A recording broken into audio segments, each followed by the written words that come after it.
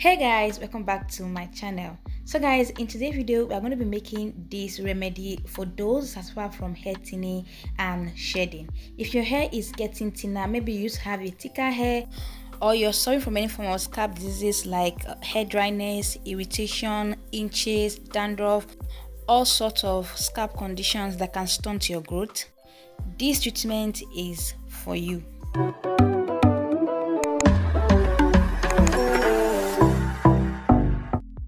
so guys let's get started. Our first ingredient we are going to be using fresh rosemary leaf.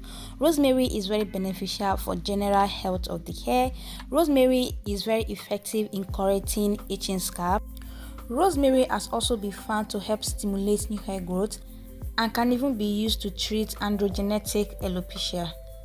Some of the nutrients found in rosemary can also be used to increase the thickness of the hair while preventing hair thinning and hair loss also, rosemary contains vitamin C, which is a great source of antioxidant for the scalp. Our next ingredient is hibiscus flower, which contains amino acid, which is also called keratin. Hibiscus help to nourish the hair follicles, soften the hair, and make it more manageable. Hibiscus also help to thicken and add volume to the hair. It helps to treat dandruff, condition your hair against frizz or any form of dryness and breakage. Up next is our fenugreek seed. This is another very popular seed that is used for hair treatment. It helps to stimulate the blood flow on the scalp and also nourish the hair follicles to promote faster and healthier hair growth. It also has an antioxidant and anti-inflammatory property that help with dandruff and any form of scalp conditions so guys the first thing you need to do is boil your hot water. You can do this with your pot or anything you want to use but i prefer to use my electric pot. So make sure your water is boiling then rinse your uh, rosemary. Make sure you rinse this way because i just got this is a fresh leaf. So you might want to rinse it for about two times even though you're still going to cook it. It's advisable to actually rinse it off? So you go ahead and transfer your rosemary into the boiling water and you go ahead and add in your hibiscus flower hibiscus flower is highly highly potent so you might want to add very little. Don't go ahead and add as much uh, a lot. Just add maybe three or four or five leaves.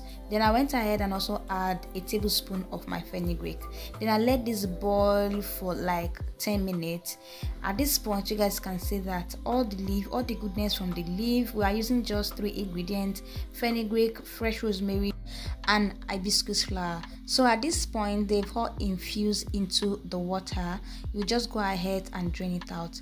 At this point i realized that my my the the rubber i was using to drain this if you can look very closely is broken. So i just went ahead and switched it.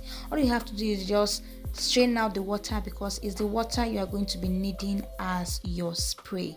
This spray is very potent because they contain fresh leaves like uh, rosemary and very high, very potent ingredients like hibiscus. So you might want to add in a lot of water into this maybe for a section you can add in up to uh, two cup of water so at this point the spray is ready and i'll go ahead and show you guys how i apply it to my hair. So this is what my hair looking like my hair is quite clean because this uh, spray i'm applying this spray like two days after my wash day. So i'll just go ahead and show you guys how i apply this into my hair.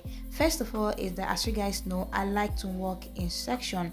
Like working in section just give you the uh, it just permits you to have control of your hair and also be able to apply whatever you're applying very well. So i work in section and i will just make sure i spray this on my scalp and also my hair strand.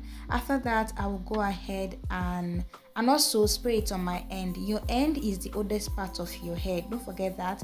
And they even need more attention because they are very very uh, more open to breakage at this point i'll go ahead and use my hair butter and seal in this so guys before we continue i would like to announce to you guys that my hair growth butter is finally let me show you guys. It's finally ready for sale and i have it on my business uh, instagram page nappy ng i'm gonna put a link of that instagram in this video. Take it straight to my business page my instagram business page so you can order for this hair growth butter if you want.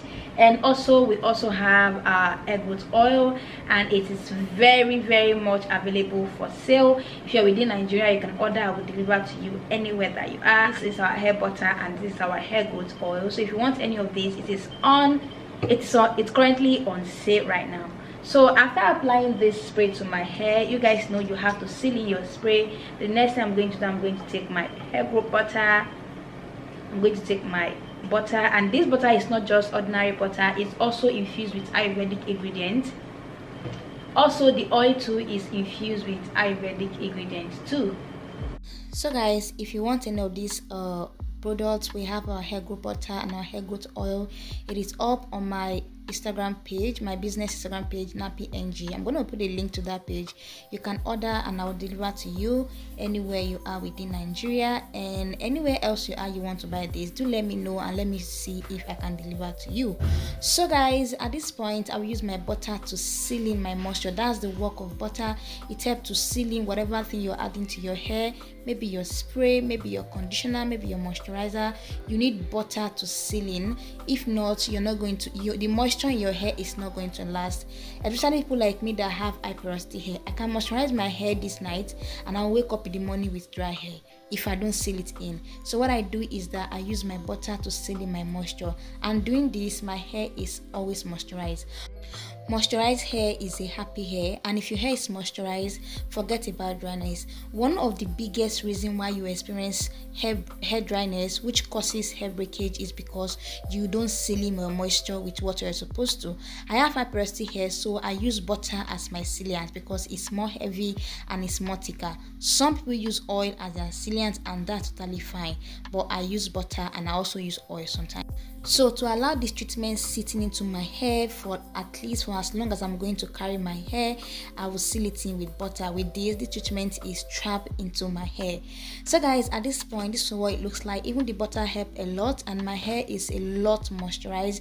You guys saw how dry my hair was in the beginning. Now my hair is very, very moisturized and shining at this point if you want to put your hair in a protective style you can go ahead and just put your hair in a protective style. Maybe a cornrow if you want to braid your hair. At this point your hair is safe it is treated it is moisturized and it is safe to braid. I don't know what happened to my camera but it became so blurry but i hope you guys can see me but you guys my hair felt so good. My hair felt really really soft. This treatment is like the new rice water because the fact that you can carry this treatment in your hair and you don't want to wash it. You don't have to wash it out. Is what i love about it. And the three ingredients are one of my favorite ingredients that i use mostly for my diy hair treatment. So guys that's what i share on my channel. I talk about everything regarding healthy hair how you can make your own products how you can make your own diy ingredients to treat your hair. That's what i do here on my channel. If this look like the kind of video you like to watch please go ahead and hit that subscribe button and i'll see you guys in my next video. Bye guys